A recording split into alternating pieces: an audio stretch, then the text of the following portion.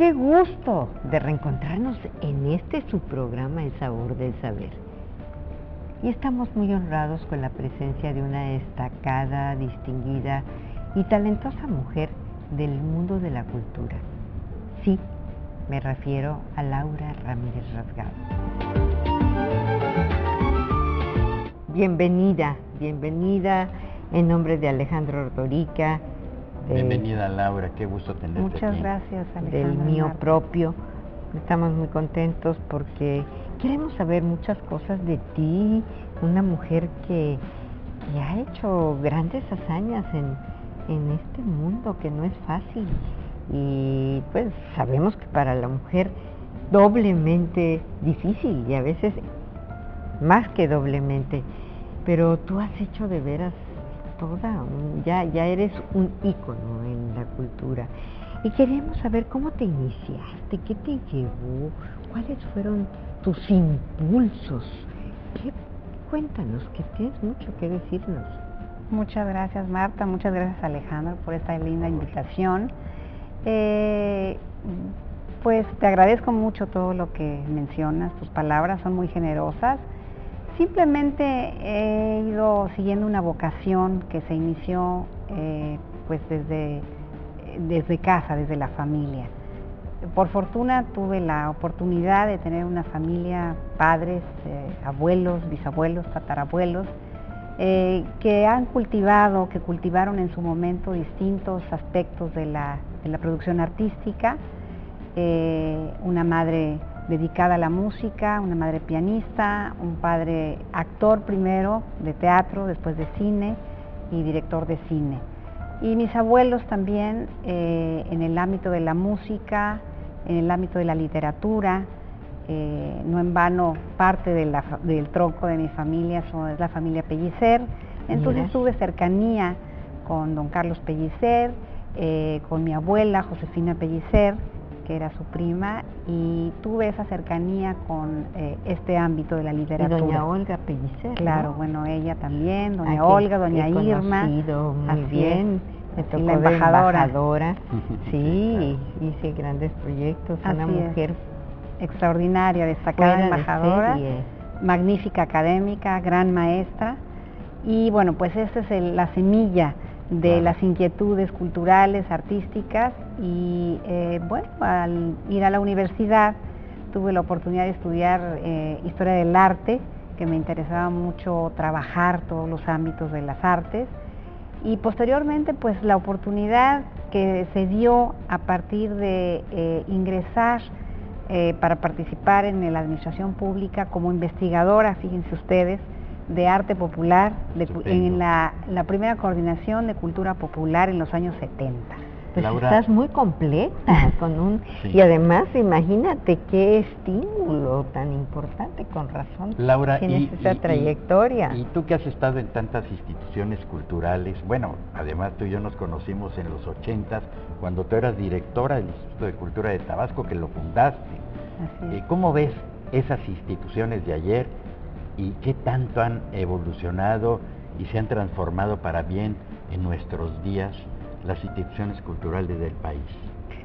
Pues sin duda eh, pues son dinámicas las instituciones de México, las instituciones culturales, y responden, la creación de cada una de ellas ha respondido en distintos momentos a la realidad del país.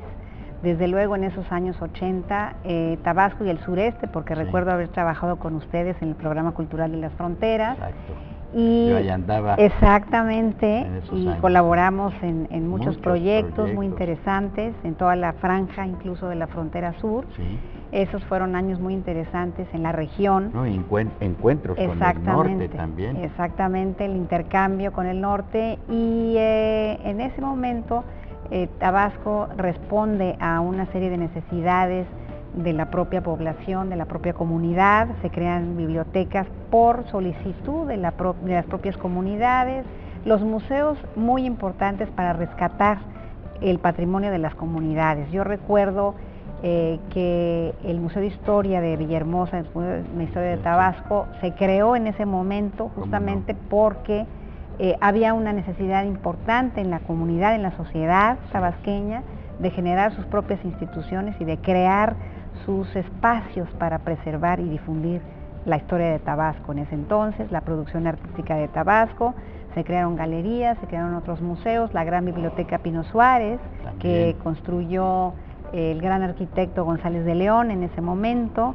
Fue, una etapa de despegue de instituciones también. ¿Y sigue en esa dinámica? Se está rescatando, hay un movimiento muy interesante de rescate. Recuerdo que en esos años también se fundó el, Laboratorio de Teatro Campesino Indígena. Eso fue... Eh, algo extraordinario por eh, quienes gobernaban Tabasco y ahora justamente en el marco de este Festival Internacional de la Cultura Maya que vivimos en Yucatán, eh, viene el Teatro Campesino de Tabasco a Xoquem, que es una comunidad donde todavía se preserva el Teatro Campesino de Yucatán. Y en pocas palabras, ¿y estas instituciones qué pasaron con ellas? ¿Cómo las desvigorosas, transformadas para bien, con otras ofertas culturales? ¿Cómo las percibes? Pues, a nivel del país, Laurita. A nivel nacional creo que las instituciones pues tienen que asumir el reto de lo que es el siglo XXI, de lo que es la era digital, eh, de lo que son es la era de las comunicaciones. Entonces hay aspectos muy fortalecidos justamente porque se ha entendido de qué, se trata la entrada al siglo XXI y otros aspectos más convencionales, más tradicionales se han ido dejando obviamente, aunque seguimos todos los museos y todas las instituciones culturales seguimos eh, con los mismos retos de siempre, cómo atraer nuevos públicos, cómo lograr que la participación social sea una realidad cada día. Y mira que el destino te trajo aquí también, ¿verdad? A, Yucatán. que en donde tienes también pues un destino y unos retos muy importantes. Pero vamos a ir a la pausa y después de esto quisiera que nos contaras muchas cosas. Claro que Laura. Regresamos a platicar con Laura Ramírez Rosgado.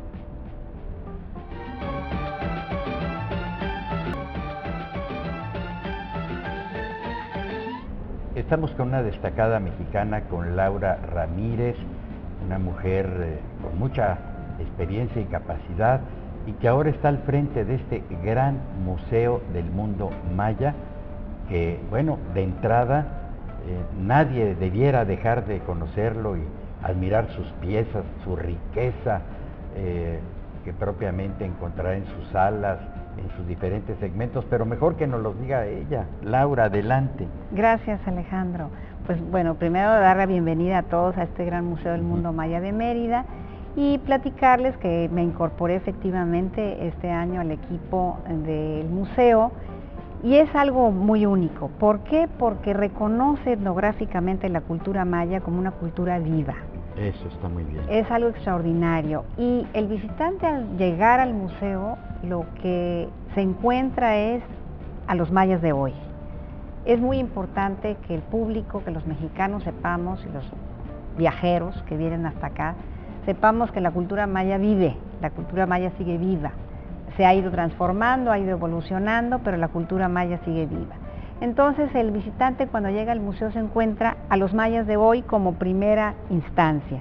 Y esta es una invitación a un viaje a los mayas de hoy y después vamos hacia atrás, en el tiempo. Es un viaje en el tiempo en donde vamos a visitar los mayas de la colonia y al final los mayas ancestrales, que es donde estamos, justamente la sala de los antiguos mayas, de lo que es la parte prehispánica. Entonces es un museo muy único porque además incorpora esto que decíamos hace un momento, de toda la era digital y de las comunicaciones y las nuevas tecnologías, ha incorporado en su discurso museográfico todo lo que es eh, la, todas las pantallas, las salas de inmersión que le llamamos, que son los videos donde se cuenta el Popol Vuh, se, encuentra, se cuenta sobre la cosmogonía. Entonces, es un museo muy único que efectivamente invitamos a todo su público a que no deje de visitarlo. Y además de incorporar, bueno, pues también tienen exposiciones de otros eh, estados, como lo vimos hace mm, unos días, que estuvo aquí Tabasco muy presente y que además se acaba de construir el cuarto piso y que estás en constante, en constante construcción en constantes retos. Y a eso me ¿Te refería. gustan enfrentarlos? A eso me refería de las instituciones. Sí, Qué ¿verdad? bueno que aquí lo vemos, hay progreso, hay transformación y hay una evolución Así es, positiva. así y, es. y- y ahora pues este una galería que acabas de inaugurar. ¿verdad? Claro, y que inauguramos con, eh, eh, hon- hon- honrosamente con el trabajo de la pintora Marta Chapa. Ay, pues Y justamente la propuesta de tener esta galería eh, recién abierta, esto que decíamos de la dinámica de las instituciones Sí. culturales, pues este es el reflejo justamente, como bien lo dices Alejandro, y eh, mostrar también esta, este aspecto del arte contemporáneo es muy importante. Tenemos dos espacios de exposición temporal, dos, tres espacios, en donde está en el cuarto piso que está Trazos de Corazón, que los invitamos a que vengan a ver esta magnífica exposición de la pintora Marta Chapa. Gracias. Y tenemos en el primer piso también una exposición que se llama Vuelo Sagrado y que representa la presencia de Tabasco en el Festival de la, de la Cultura Maya.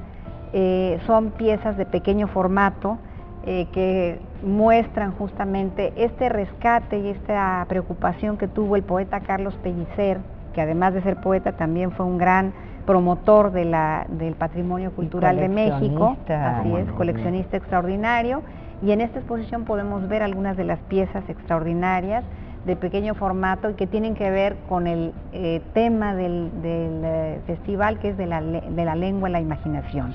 Entonces, qué mayor imaginación que primero hacer la colección de, de estas obras, llevarlos al Museo Carlos Pellicer y nosotros hemos traído una pequeña muestra de esa exposición. Fíjate que mi padre decía algo muy bonito que ahorita lo recuerdo. Decía, "R- hija, no se te olvide que hay tres cosas importantes en la vida. Imaginación, imaginación e imaginación. Fantástico. ¿Eh? Entonces, Fantástico. bueno, y yo creo que me lo decía mucho, pues eh, en el sentido de, de como artista visual, ¿no? Porque la imaginación es algo que, que se promueve, no es algo estático, es, es, es algo que siempre, eh, si tú no lo promueves, ahí se queda, ¿no? Es como, sí, algo que tienes que, que estar en constante evolución, en constante verdad, y eso es, es muy bello, es muy bello y verlo cómo va evolucionando y transformándose. Y, y bueno, aquí lo vemos de manera muy palpable y además eh, que tenga esta Y comunicación. sabes que Marta también, eh, eh, ¿Qué, algo, a- algo que yo creo que Laura nos puede decir, yo veo museos que ya están en, en- en el internet y que puedes visitarlos y que ya nos ubican en el siglo XXI. ¿Qué va a pasar con los museos ahorita en el siglo XXI con esta nueva tecnología que nos está llegando a todos? Claro. Y donde tú desde tu casa puedes conocer el Louvre Así o puedes es. este, conocer el Metropolitan. Claro. ¿Qué, qué entonces va a pasar con, con todo esto que está aquí? Y con el, se puede visitar el gran Claro, museo del claro. Mundo Tenemos una página fantástica que hemos construido eh, en equipo durante este año eh, y tenemos incluso eh, videos en la página, tenemos eh, recorridos de 360 grados, Sí. aprovechando las tecnologías, también tenemos eh, todas estas opciones. Tenemos galerías, tenemos servicios, todo lo que tenemos para los niños, por ejemplo. El maestro de primaria puede entrar a la página del museo y puede descargar una serie de ejercicios sobre los mayas, sobre juegos, sobre la arquitectura, la arquitectura de este museo que es extraordinaria, que representa una ceiba.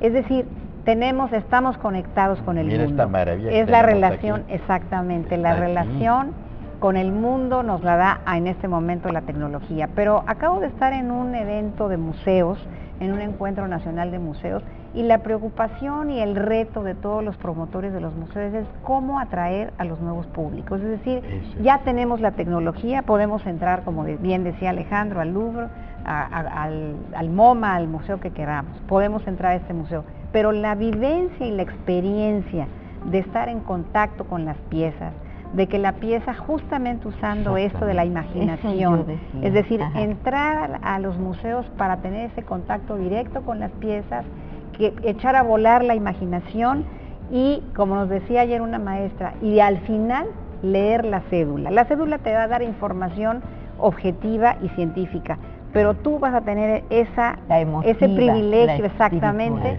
de entrar en contacto y de echar a volar tu imaginación, de interpretar la pieza y, de exactamente. hasta tu entrañas antes en vivo y en directo. Exactamente.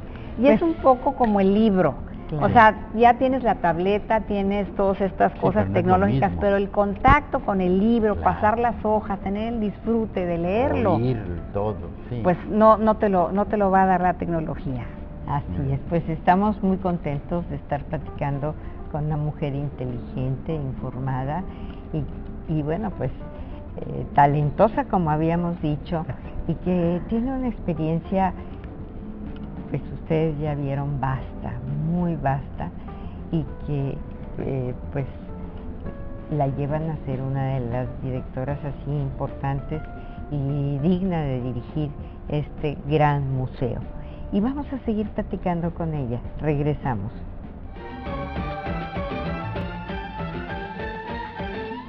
Pues estamos felices de veras de estar platicando como ustedes ya lo vieron con una mujer además muy amena y que nos ha contado cosas muy importantes de, pues, de estas latitudes y de este museo que, insisto, lo tienen que conocer.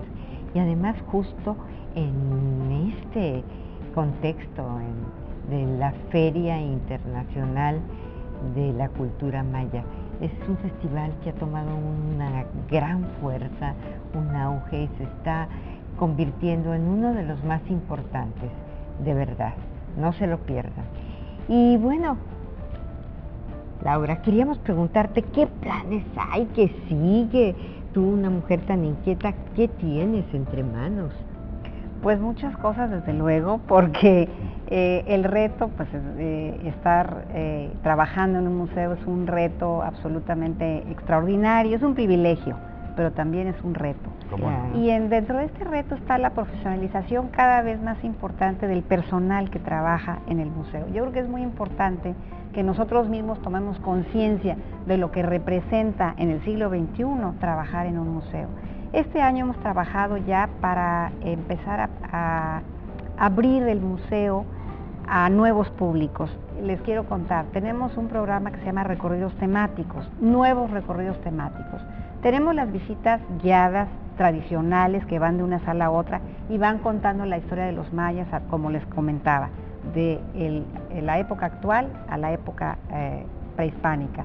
Pero también hemos querido atraer públicos de otra manera, porque hay visitantes que ya vinieron y dicen, señor, ya, ya sé de lo que se trata, ya no regreso. Entonces, ¿cómo atraerlos? Eh, tenemos un programa que hemos iniciado este año y que vamos a fortalecer el próximo año, que les digo se llama Nuevos Recorridos Temáticos, es decir, tomamos determinados aspectos de la colección, esta colección maravillosa de, arte y de producción eh, cultural y artística que tenemos en el Gran Museo del Mundo Maya, y eh, hacemos recorridos breves, de 20, minutos, de media hora, en donde hablamos, por ejemplo, de las jainas. ¿Ustedes saben lo que son las jainas? Son pequeñas piezas que vienen de la isla de Campeche y que en la mayoría son ocarinas, que son jainas, que son piezas de cerámica de pequeñas dimensiones. Entonces nosotros tenemos un recorrido que se llama exactamente, casi miniaturas con una factura extraordinaria. Entonces uno de los recorridos se llama Jainas, retrato de una sociedad. Muy bien. Entonces eh, los visitantes dicen, oye, esto yo no lo he visto, quiero participar. Entonces son, todos los días hay estos recorridos temáticos. Hay otro que se llama La Guerra de Castas esta parte, esta etapa de la historia de Yucatán, llama mucho la atención. Entonces se llama Guerra de Castas, eh, Rebelión Indígena. Entonces se cuenta en media hora y vamos a las vitrinas específicas donde contamos la Guerra de Castas. Hay otro extraordinario que se llama Símbolos y Elementos de la Arquitectura Maya. Entonces, dura un poquito más porque tenemos más elementos que mostrar, pero hay personas que salen del museo diciendo, oye, ¿cómo es posible que en media hora yo he aprendido tanto de arquitectura maya que ni en la escuela? Pero se ha visto que eh, ahora por eso estas TOC, eh, ¿cómo le llaman? Eh, las que son como conferencias muy pequeñas. Las TED famosas, sí, ¿no? Exacto.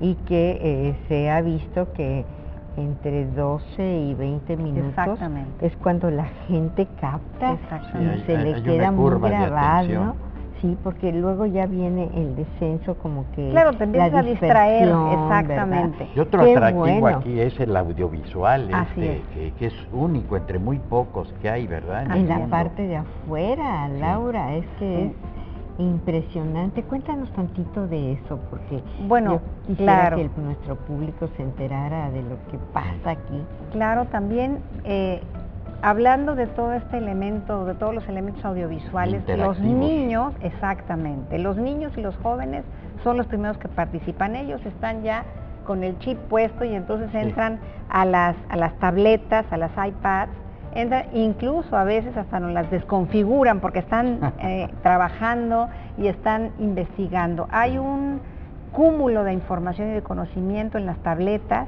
y en todos los elementos digitales para que los chicos, los no tan chicos, puedan, incluso tú puedes ir a uno de las tabletas y te da tu horóscopo en maya. Entonces, esta es una posibilidad de participar de una manera más intensa. Y uno de los planes más importantes que ya arrancaron este año y que seguirán fortaleciéndose es justamente los niños y los jóvenes. es decir, fundamental para el proceso educativo conocer los elementos de la cultura maya y lo que te, lo que te ofrece el conocimiento de la cultura, de tu propia identidad. y es como se logra ese binomio fundamental para México, que es, entrelazar educación y cultura, que a veces parecen hermanastras y que están hasta en el divorcio total. No, al contrario. Yo creo que sí tenemos que, Exacto. que no conoce la historia, Alejandro, de su país, pues está en... No está en, el presente ni en el futuro, no. En el limbo totalmente. Así es, Alejandro. Incluso eh, les cuento que en la página, si la visitan, que es granmuseodelmundomaya.com.mx, eh, tenemos ya un, banner, podríamos decir, explicando eh, la importancia de la milpa y de la milpa en, Yucatán. Muy bien. Entonces, esto nos ha permitido también vincular, tenemos en la primera sala lo que son eh, lo que son los recursos naturales de Yucatán, lo que son los recursos naturales de los mayas y ahí lo pueden eh, visitar y eh, desde luego vamos a ir incrementando toda esta relación de la milpa y de los elementos de los recursos naturales con la cultura yucateca. Es importante. ¿Y cuáles son los gustos de Laura Ramírez? ¿Qué come? Qué, ¿Cuáles son sus platillos favoritos? Pues desde luego, como te decía, les decía, la comida mexicana me fascina. Eh, yo recuerdo, eh, mi esposo es de Canadá y me acuerdo que el primer platillo que le preparé cuando lo invité a cenar a casa cuando nos conocimos fueron unos chiles en nogada. y él se enamoró de México con los chiles en nogada. Y de ti, por supuesto. ¿Eh? Oye, Marta, yo recuerdo en una comida así culminante para un buen evento que tuvimos en aquellos años, en los ochentas, Laura nos ofreció, y por primera vez probé, y fue en Tabasco, dos platillos que tú nos ofreciste, tepescuincle en adobo y armadillo en su concha a la parrilla. Qué maravilla, allá en Tabasco. Pues imagínate. ¿Sí te acuerdas, verdad? Sí, claro que sí. Espero que los volvamos a probar, a probar. Y Alejandro, ¿cómo cierras? Porque ya estamos con el tiempo muy breve, pero creo que promisoriamente, porque me quedo con la idea de los mayas hoy. Eh, no es una cultura petrificada, es una cultura vigente y aquí lo atestiguamos en el, en el museo, donde te reciben para empezar con una bienvenida en maya. Aquí están los mayas. Claro que sí. Oye, muchísimas gracias, Laura. Al contrario a ustedes, querida Marta, querido Alejandro, muchas gracias por su ha sido hospitalidad. Muy, sabrosa muy plática. sabrosa plática y aleccionadora. Igualmente para mí. Muchas gracias, por todo. gracias siempre. Y gracias a ustedes por acompañarnos, porque de veras que nos dan mucha certeza mucha certeza en nuestro trabajo y aquí los esperamos la semana que entra con más sabores y más saberes. Que la luz siempre los acompañe.